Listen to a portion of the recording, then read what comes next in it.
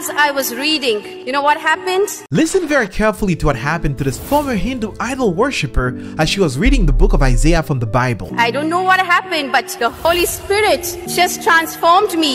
And for the first time in my life, I got to know that the true living God hates idol worship. I can't worship what I make from my hand. This God of the Bible wants to have a personal relationship with me.